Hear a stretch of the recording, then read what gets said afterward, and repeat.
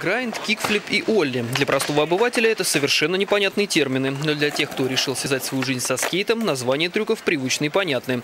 Волгоградские покорители досок отметили Международный день скейтбординга состязаниями.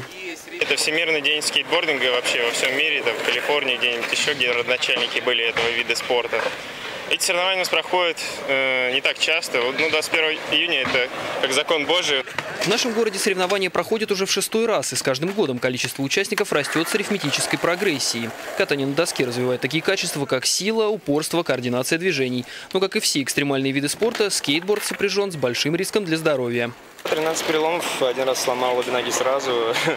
То есть э, руки ломал сотни тысяч раз, уже я не знаю, сколько это происходило. И левый, и правый, позвоночник даже травма была, недавно только остановился. Александр оседлал доску в 2009 году и за это время успел одержать не одну победу. Кстати, в этом году он занял первое место в группе до 16. Во многом, признается юный спортсмен, его успехи – это заслуга родителей, которые его всегда поддерживали. всегда дают деньги, то есть покупают доски там, старайся там, учись или еще что-то там. Ну, чтобы лучше было кататься. Единственное, на что сетуют любители проехаться с ветерком, в Волгограде не так много мест для тренировок и соревнований.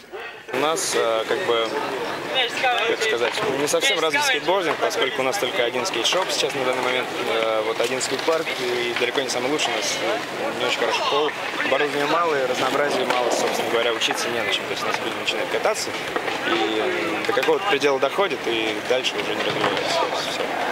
Такие состязания еще и красивое зрелище, и болельщики, собравшиеся на набережной, единодушно желали ребятам побольше успехов и поменьше травм.